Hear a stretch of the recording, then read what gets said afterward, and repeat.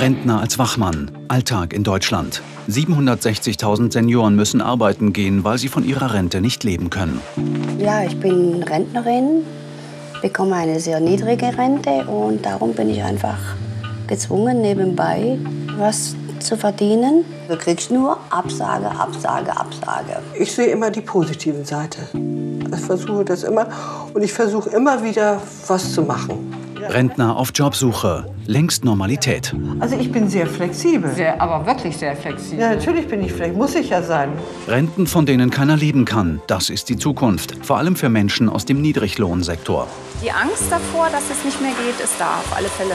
Wir haben mit Sicherheit nicht jeden Tag die Worte dafür.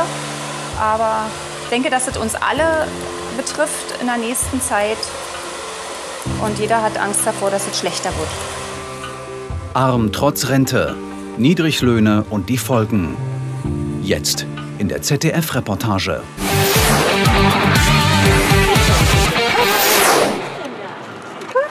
Helga Zeitz ist eine aktive 71-Jährige, die ihr Leben anpackt. Das muss sie auch, denn von ihrer Rente allein kann sie kaum leben. Sie liebt Hunde, aber den Spaziergang mit gleich dreien macht sie nicht aus reiner Freude. Sie jobbt, so oft es geht, als Hundebetreuerin, als Dogsitterin. Ganz aufgeregt ist er. Das ist Yoshi und das ist die dicke Tinker. Über 35 Jahre hat Helga Zeitz in die Rentenkasse eingezahlt. Erst als Angestellte, dann als Selbstständige. Heute bekommt sie gerade mal 466 Euro ausgezahlt. Irgendwann war der Alleinstehenden klar, sie muss auf Jobsuche gehen.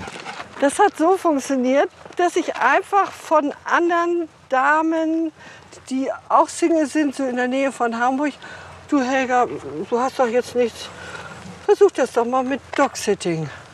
Dann habe ich gesagt, ja, okay, mache ich, versuche ich mal. Dann habe ich Anzeige aufgegeben liebevolle Hände und so weiter, Hunde. Und dadurch ist das im letzten Jahr entstanden. Viel verdient sie dabei nicht. Ein paar Euro, mehr oder weniger ein kleines Taschengeld.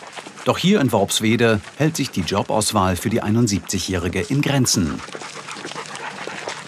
Ich hatte mal hier ein Angebot als Verkäuferin, als Textilverkäuferin. Aber das hat nicht geklappt. Warum, wieso, weshalb, weiß ich nicht. Ja, und Worpswede ist ja nun zwar ein Touristenort, aber mehr Gastronomie und Malen und so weiter. Und ja, da ist es eben schwieriger. Doch die gebürtige Hamburgerin lässt sich nicht unterkriegen. Ihr macht das Jobben sogar Spaß. Helga Zeitz zahlte immer in die Rentenkasse ein. Erst als Bürokauffrau, dann weiter als Selbstständige. In den 80ern eröffnete sie einen Kleiderladen auf Norderney. Ihr Rentenberater hatte ihr damals versichert, sie würde im Alter 1200 Mark Rente bekommen, also etwa 600 Euro. Es wurden nur 466. Ich bin jetzt nicht, dass ich sage, den Kopf in den Sand stecke und sage so, jetzt geht es nicht mehr weiter, sondern ich sehe immer die positiven Seite. Ich versuche das immer und ich versuche immer wieder was zu machen. Jetzt sehe mit dem Hund, sehe jetzt die Vorstellung da und ich habe einfach so viele Ideen, auch kreative Sachen, wo ich sagen könnte, ja, vielleicht gibt es mal eine Gelegenheit, dass ich irgendwie es wieder machen könnte. Die Wohnung ist schön, geräumig, aber teuer. 450 Euro Miete. Das konnte Helga Zeitz nur aufbringen, weil sie sich die Wohnung mit einer Bekannten teilte. Doch dann zog diese aus beruflichen Gründen fort. Jetzt muss die Norddeutsche die Miete alleine stemmen. Chancenlos. Helga Zeitz ist eine praktisch veranlagte Frau und organisierte sich schnell eine neue WG-Partnerin. Ich räume das Zimmer frei für eine sehr gute Freundin von mir, die jetzt von Berlin hierher zu mir zieht. Erstens, weil sie sich hier sehr wohl fühlt in Worpswede und weil ich ja auch dadurch die Hälfte der Miete bekomme. Und das ist für mich wichtig. Wer zu wenig Rente bekommt, muss sich etwas einfallen lassen. Jobben, untervermieten, auf jeden Fall irgendwoher ein bisschen Geld reinholen. Auch das Ehepaar Sticher aus Ravensburg hat sich sein Rentnerleben anders vorgestellt. Das Geld reicht hinten und vorne nicht. Elisabeth Sticher ist seit zwei Jahren pensioniert. Ihr Mann Reinhold musste vor einem Jahr aufgrund eines Schlaganfalls mit 59 Jahren aufhören zu arbeiten. Daher bekommt er nur eine deutlich reduzierte Rente. Wollen wir das? Sogar noch billiger, günstiger.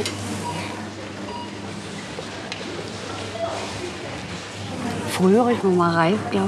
Ah komm, probieren wir mal das, probieren wir mal jenes. Einfach mal versuchen, wie das überhaupt dann schmeckt. Und wenn man dann den Preis sieht, nö, das lassen wir. Der Einkaufszettel ist kurz geworden. Zusammen haben sie 1250 Euro Rente. Die Hälfte davon geht in die Miete. Da müssen Preise verglichen und Sonderangebote sondiert werden. Vor ihrer Rente lebten die Stichers sorgenfrei. Finanziell fehlte es ihnen an nichts. Früher waren sie viel unterwegs, heute fehlt dafür das Geld. Mit wenig Geld fällt es schwer, soziale Kontakte zu pflegen. Die Stichers fühlen sich ausgeschlossen. Wenn es dir finanziell nicht gut geht, hast du sehr wenig Freunde. Und das, das ist das Traurige. Wenn man nur nach dem bemessen wird. Nur der Mensch selber.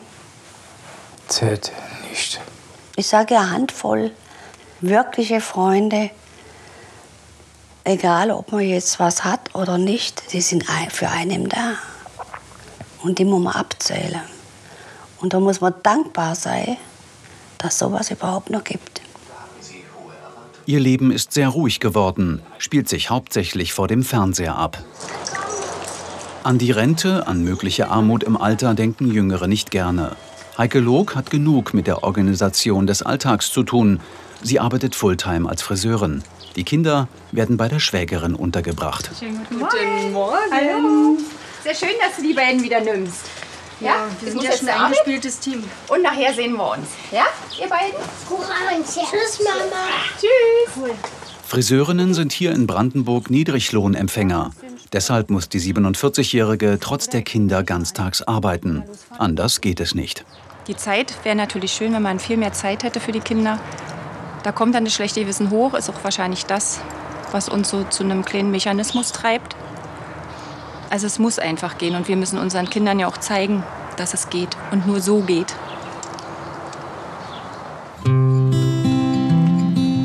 Wer wenig verdient, bekommt später wenig Rente. Der Weg in die Altersarmut ist vorgezeichnet. Heike Log arbeitet fast 40 Stunden in der Woche und geht mit einem Gehalt von 1000 Euro nach Hause. Ihr Mann verdient als Bauarbeiter ungefähr genauso viel. Die Friseurmeisterin Heike Log leitet den Friseursalon. Trotzdem bleibt nicht viel übrig. Hallo Steffi. Hallo. Hallo. Heike Log liebt ihren Beruf, ist engagiert, motiviert und mit viel Spaß bei der Sache. Die Friseurmeisterin hat viele Stammkunden, zu denen sie über die Jahre ein freundschaftliches Verhältnis aufgebaut hat. Du möchtest in den Urlaub? Und wir machen einen Haarschnitt.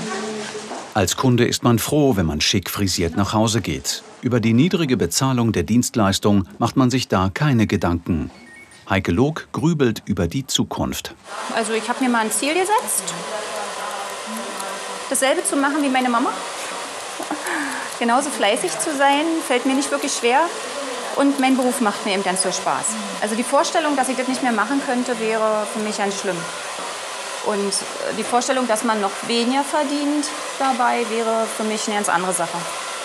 Also da würde ich dann wahrscheinlich doch das erste Mal drüber nachdenken, dass es dann nicht mehr geht.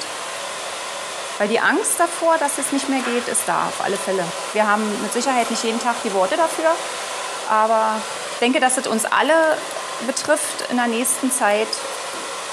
Und jeder hat Angst davor, dass es schlechter wird. Ja, sicherlich. Angst vor der Alltagsarmut. Denn wenn man nachher irgendwo nicht mehr arbeiten geht und seinen Lebensstil komplett ändern muss, ist es natürlich schwierig. Denn, bis zum nächsten Mal. Die Friseurmeisterin versucht positiv in die Zukunft zu schauen. Was bleibt ihr auch anderes übrig?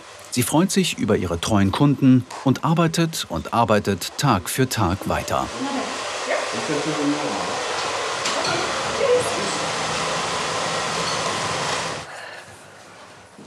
Wer von wenig Rente leben muss, der überlegt sich genau, wo er sparen kann. Die hochwertige Küche hat ihr die ehemalige Mitbewohnerin überlassen. Helga Zeitz muss sich einschränken, selbst bei Lebensmitteln. Üppiges Einkaufen ist da nicht drin. Doch die Rentnerin ist genügsam. Das Sparen am Essen fällt ihr relativ leicht. Doch es fallen auch so Monat für Monat genügend feste Kosten an, die von 466 Euro Rente bezahlt werden müssen. Frau Zeitz, wie schaffen Sie es mit Ihrer Rente, die Miete, das Auto, überhaupt so Ihr Leben zu finanzieren? Ja, wie ich das schaffe, das weiß ich manchmal selber nicht. Aber ähm, da ich mir etwas erspart habe, aber auch Erspartes geht dem Ende zu. Und deswegen mache ich mir natürlich Gedanken um die Zukunft. Und ich muss mich eben sehr einschränken. Und äh, ja, das ist einfach sich meine Hauptsache, Einschränkung. Also eben nur das kaufen, was erforderlich ist. Ich mache mir halt Gedanken und Sorgen um später. Das ist es eben. Ne?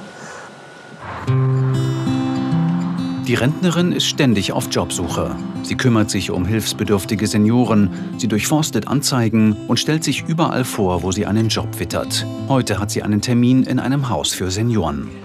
Guten Tag, hallo. Hallo, Frau Deutsch. Sie sind Frau Seitz. Ja, ich bin Frau Zeitz. Wir haben miteinander telefoniert. Ja, endlich ja, mal, wunderbar. ne? Ja. Jetzt sehen wir uns endlich. Ja, genau. Am besten nehmen Sie sich diesen Stuhl. Sie möchten Ihnen meine Dienste für Ihre Senioren zur Verfügung stellen oder für irgendeinen zur Verfügung stellen. Das heißt, ich übernehme äh, Betreuung oder alles, was, das, was Sie haben, ja, wa- was ich eben so machen kann. Ja. Und möchten Sie das ehrenamtlich tun? Eigentlich kann ich mir das nicht leisten, weil ich ein bisschen was äh, verdienen muss. Ja. Ich denke mir das so, dass sich bei Ihnen jemand meldet und sagt, haben Sie nicht jemanden? Und von der Dame kriege ich jetzt so 8 Euro die Stunde und, und 2 Euro fürs Benzin. Also es ist jetzt nicht so, dass ich jetzt äh, davon reich werden will, sondern einfach, ich möchte die Entschädigung. So einen kleinen Neben. So ist es.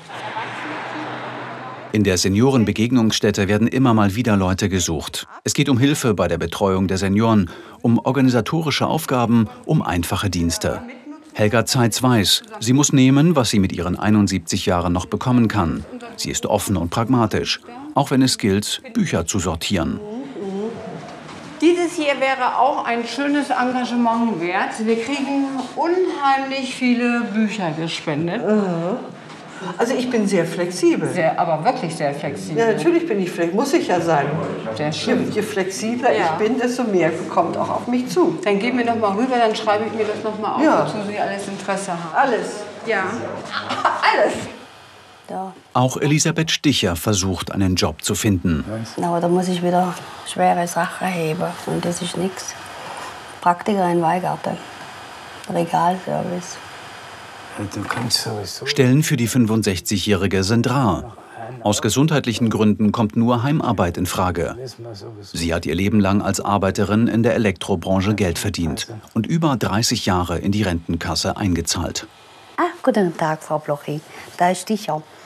Äh, ich wollte mal fragen, an wen ich mich wenden muss wegen Heimarbeit.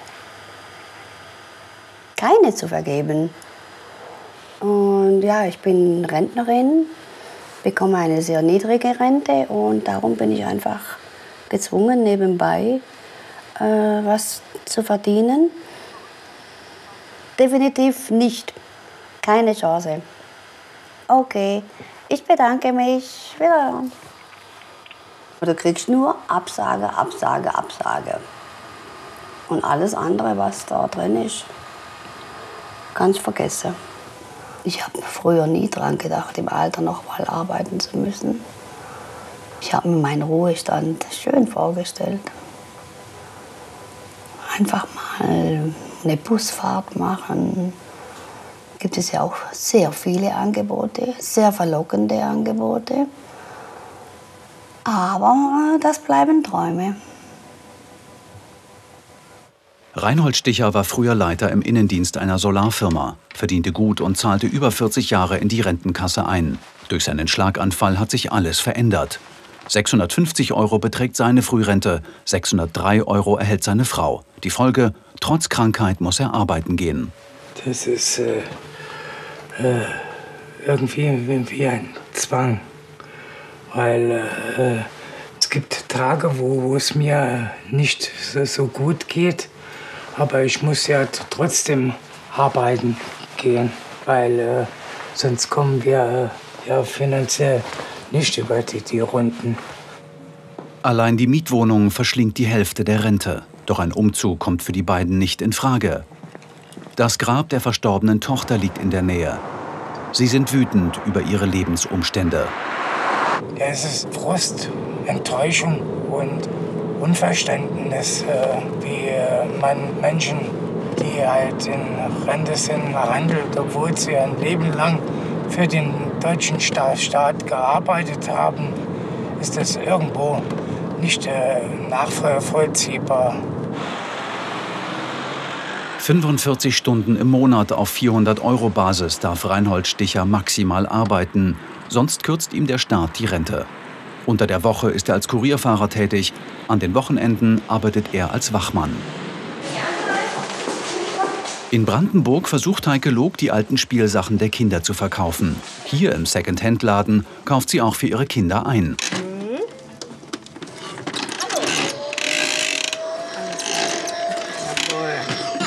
Niemand kann so toll Staubsaugen. Ich werde dich engagieren. Genau.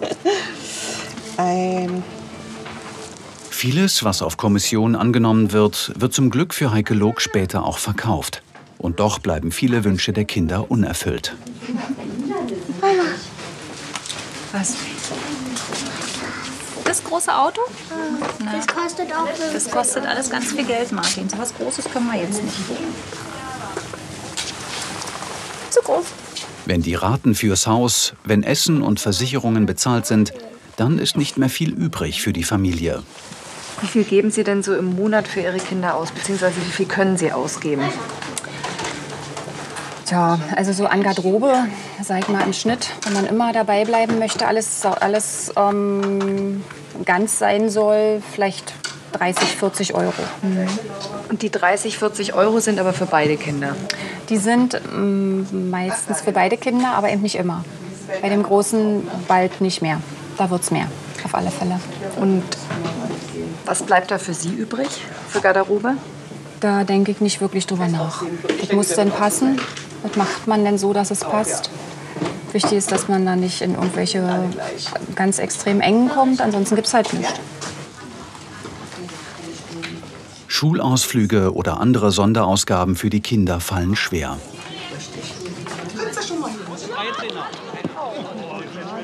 Wochenende. Das sieht bei den Logs genauso aus wie bei fast allen Familien mit Kindern. Anfeuern auf dem Fußballplatz. Der zehnjährige Timmy spielt mit Begeisterung und Fußball im Verein kostet hier in Brandenburg zum Glück nicht die Welt. Für Frank und Heike Log ist es wichtig, dass es den Jungs an nichts fehlt. Noch leben sie im Hier und Jetzt. Wie es später finanziell mal aussehen wird, darüber machen sie sich wenig Gedanken. Geld soll nicht die Hauptrolle im Leben der Familie spielen. Das gilt vor allem bei der Erziehung der drei Kinder. Uns ist es ganz wichtig, dass das äh, Ganze nicht so einen extrem kommerzbezogenen Rahmen hat, dass das Kind in Ruhe groß werden kann und auch Fußball spielen darf, nicht unbedingt muss und dass es bezahlbar ist. Das funktioniert eigentlich noch, dass das noch nicht so kommerzbezogen ist. Momentan, das kommt vielleicht noch später, denke ich mal, wenn er dann mal älter wird und in der Schule dann das richtig losgeht. Wahrscheinlich. Ich wurde so erzogen, dass man nicht alles bekommt, was man möchte.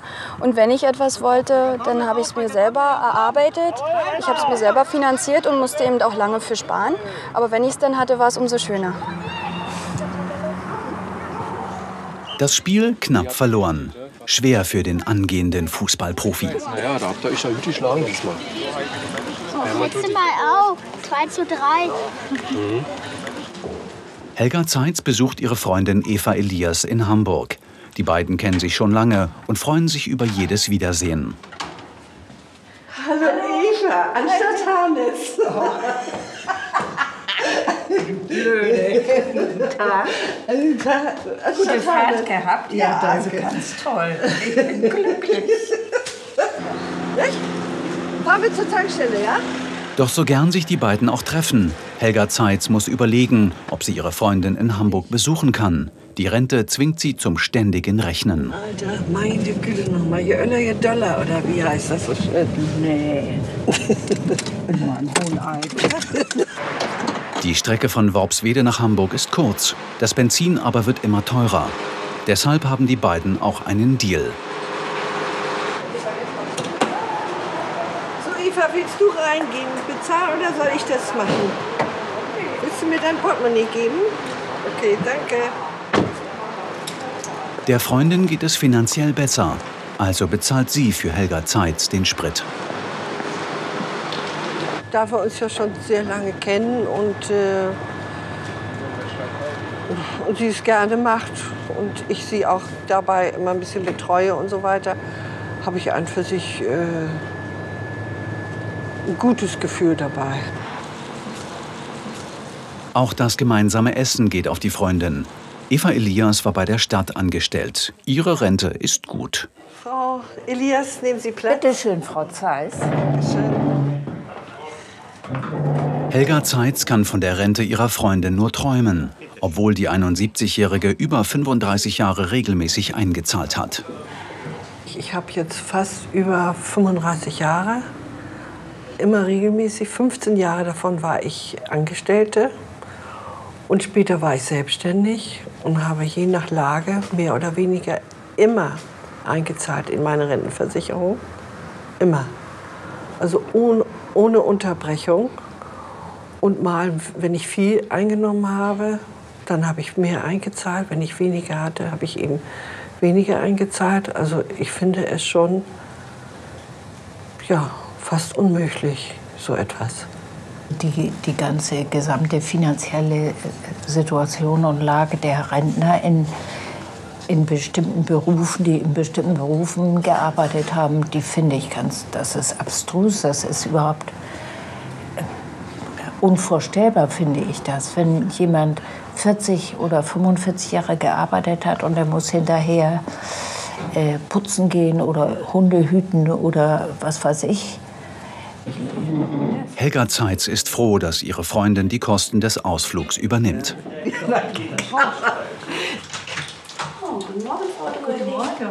Bei den Stichers läuft es nicht so rund. Heute bekommt das Paar Besuch von der Caritas. Rosemarie Duelli ist gekommen, um die beiden moralisch zu unterstützen. Die Zeitung ist bereits abbestellt. Sie sparen, wo es geht. Doch es reicht nach wie vor nicht. Frau Sticher, Frau Sticher wie, wie geht es Ihnen denn jetzt nach unserem letzten Gespräch? Oh, ja, wie gesagt, ich habe jetzt versucht, äh, Heimarbeit zu finden. Ja. Aber jetzt ist wieder eine Nachzahlung gekommen vom Strom. Ja. Und ich weiß nicht, die ist wieder so hoch. Keine Ahnung, warum die so teuer ist. Und wir können es einfach nicht bezahlen. Ja, ich glaube, mit der Altersarmut sind wir noch nicht an der, an der oberen Grenze angekommen. Wir sind erst am Anfang und ich glaube, wir haben auch noch nicht ganz begriffen als Gesellschaft, dass wir insgesamt uns eine andere ähm, Lebensart angewöhnen müssen. Rosemarie Duelli hat ein offenes Ohr für die Sorgen der Rentner. Sie gibt den beiden Tipps zum Sparen, erklärt, wo sie noch finanzielle Hilfe beantragen könnten. Im nächsten Jahr will Reinhold Sticher versuchen, seine Erwerbsminderungsrente in eine normale Altersrente umzuwandeln. Große Chancen allerdings wird sein Antrag nicht haben. Heute hat eine Freundin das Paar abgeholt. Sie sind an den Bodensee gefahren. Die Stichers wohnen nur 20 Kilometer vom See entfernt und waren doch seit einem Jahr nicht mehr hier. Die Benzinkosten sind ihnen zu hoch. Jetzt zählt nur der Augenblick. Das ist äh, irgendwie macht das äh, innerlich äh, glücklich. Das, äh, es äh, lässt einem äh, einiges äh, Schwere vergessen und fühle mich äh, echt gut. Es sind die kleinen Dinge, die zählen. So ein Spaziergang in der Sonne hält den Alltag auf.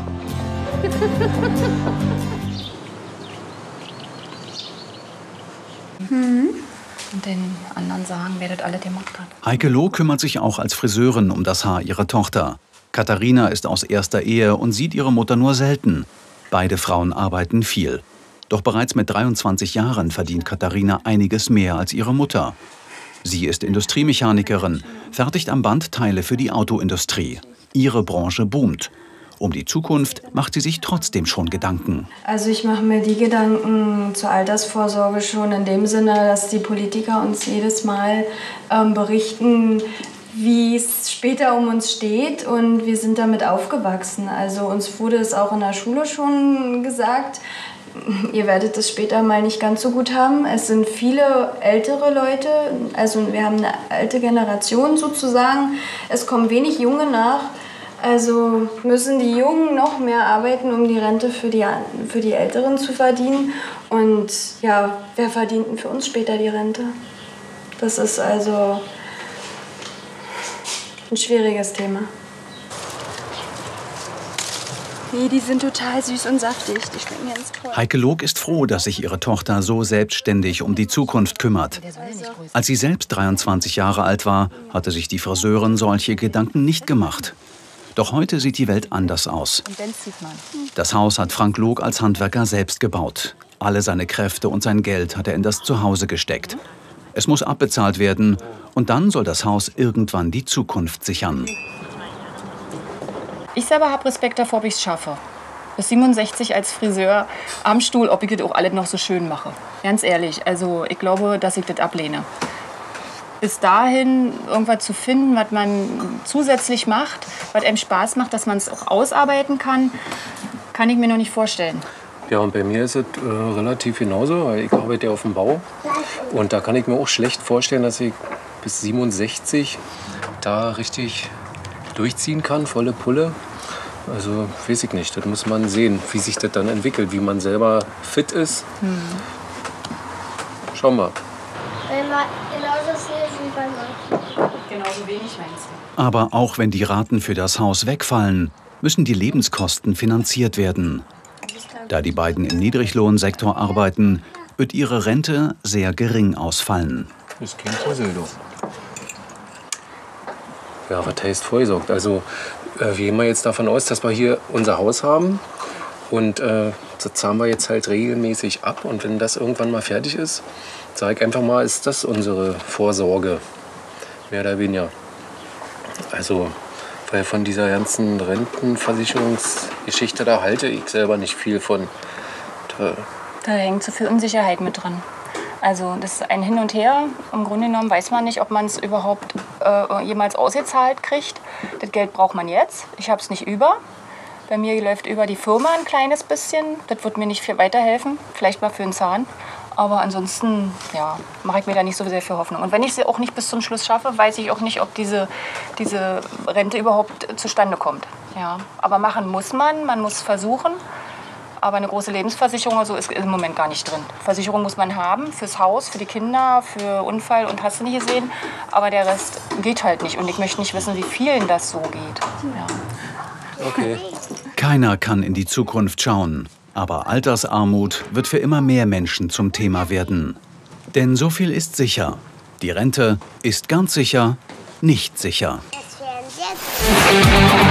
Die ZDF-Reportage wieder nächsten Sonntag um 18 Uhr. Besuchen Sie uns auch im Internet unter reportage.zdf.de.